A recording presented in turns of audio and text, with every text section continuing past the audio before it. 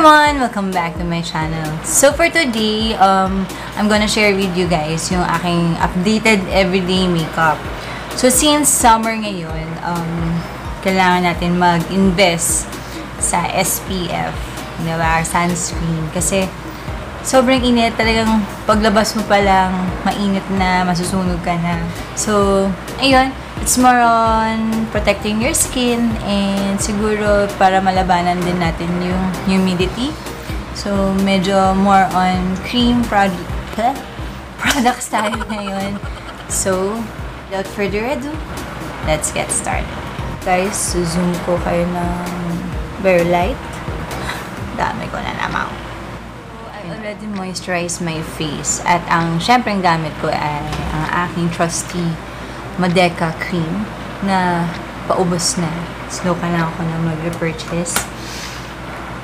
Then, let's start off with sunscreen.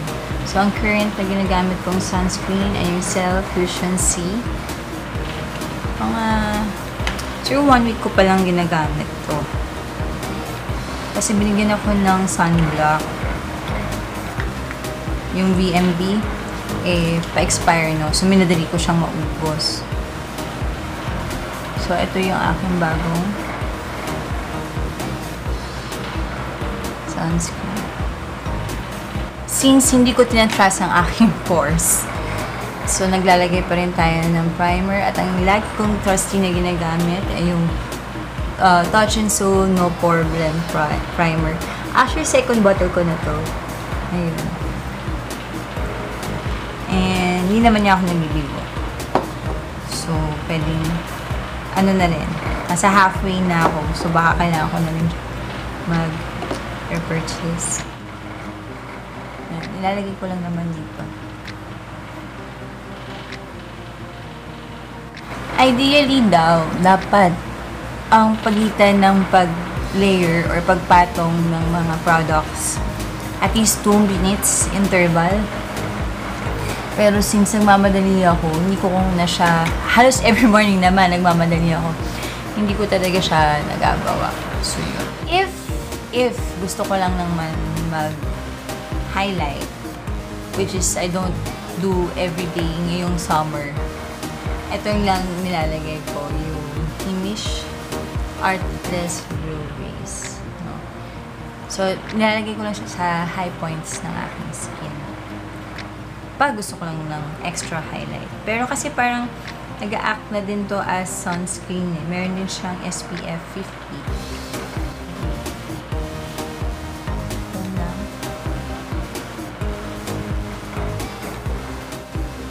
So, syempre guys, no, wala akong kahilig-hilig talaga sa SPF. So, yung next product natin, yung Kill Cover na Rio. Ayan. Ang shade ko dito ay Sand parang alam ko, ito na yung pinaka-darkest shade niya. Naubos na kasi yung ano ko, yung super face ko na, na cushion. So, tinry ko to. Kasi hindi ko pa natatry to peel cover. Eh, parang ang ganda din ng mga reviews na. May nakalimutan pala akong i-share.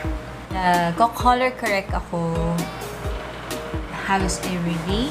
Since na-discover ko mag-color correct, nag-color correct ako. So, hindi tingnan nyo. Super gamit siya. So, since may mga reds, redness ako ngayon sa face, nakikita ko sa viewfinder, mag-color correct tayo. Tapos, patungan na lang ulit natin ng keel cover. Hindi ako na-realize. Hindi pa lang nag-color correct. Usually, yun yung una. Bago ko ma...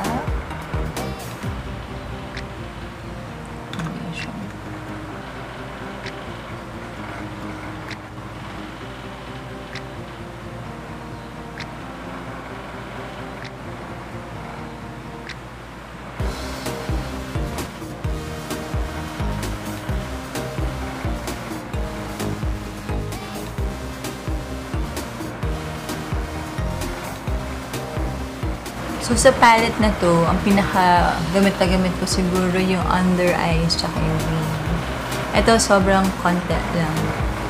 So, yan. So, patungan na natin ulit. Ayusin na natin sa ating frosty. yung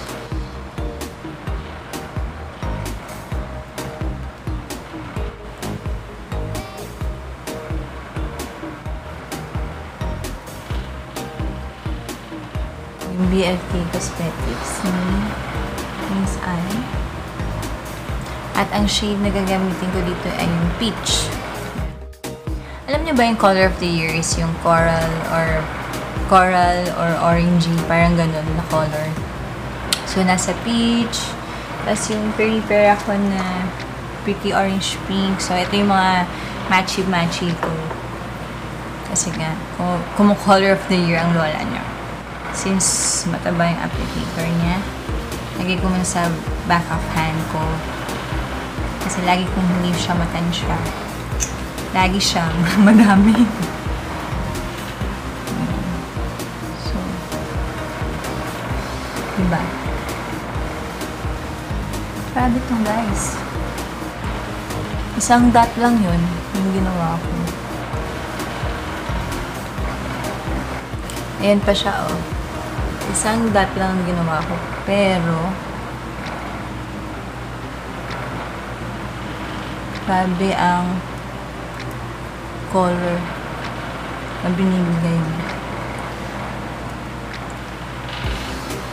Pantay na lang natin. So, sunburn. Sunburn ko talaga ang peg ko eh. Mawawala pa yan guys kasi magpa-powder pa tayo.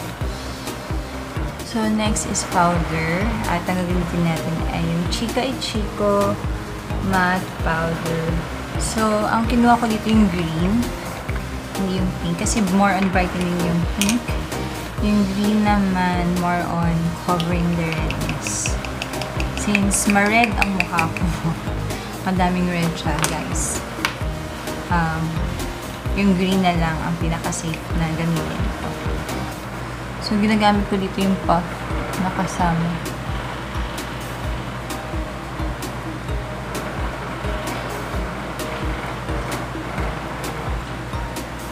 Medyo naglasan na yung redness. Chika Ichiko ulit na brand. Isang shade din gagamitin ko, no? Yung dishing. Lang. Para chill lang tayo.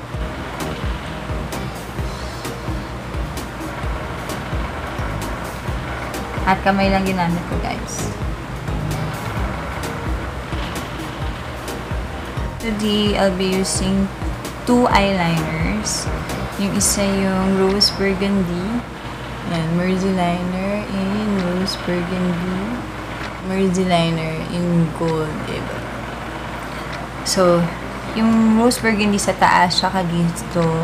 And then yung gold label yung sa inner corners lang. So, medyo gamit na gamit siya, guys.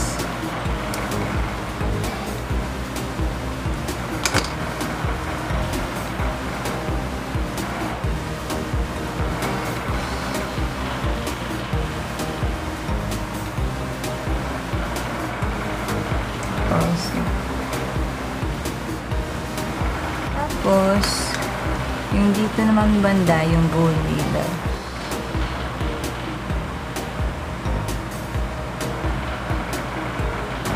Para medyo mukha ang ating eyes.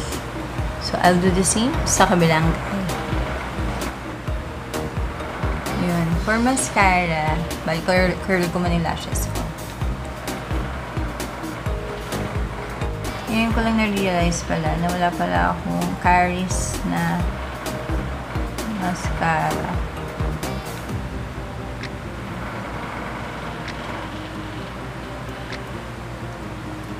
So, gagamitin ko na lang ang aking toothpaste na um, Better Than Sex na mascara.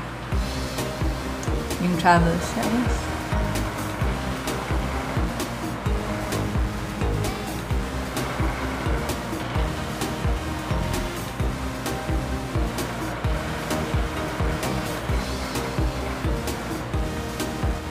Tapos for the eyebrow, ang gagamitin natin glowing eyebrow pencil ng Etude House. Ang, gin ang color na kinuha ko ay color, basta may color green. Kasi, yung payoff niya guys, since medyo black yung aking ano, sakto lang. So, babrush muna natin siya.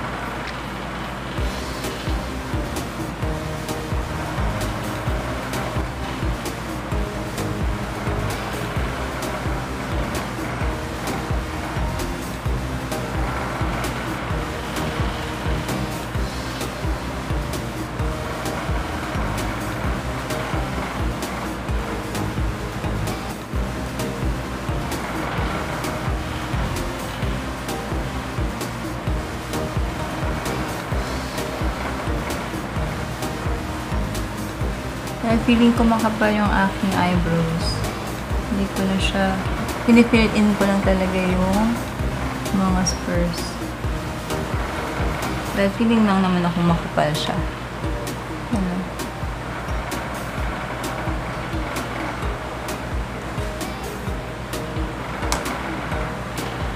So, to finalize the look, ay zoom out ko muna ulit. Ang aking favorite na Peri Pera. And we're done.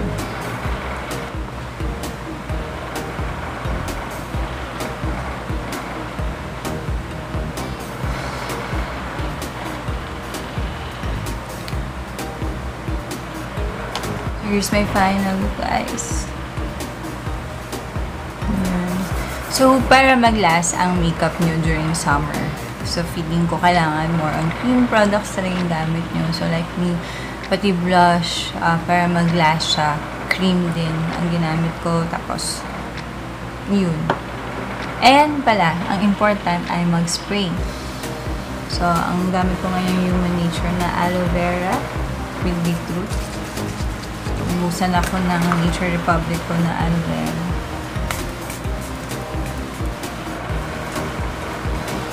So, yun. So, there you have it. I hope you all like this video. And please, visit my Kari shop so you can find all those products except yung BLK at saka yung Too Faced no. Almost all my products are available in my Kari shop.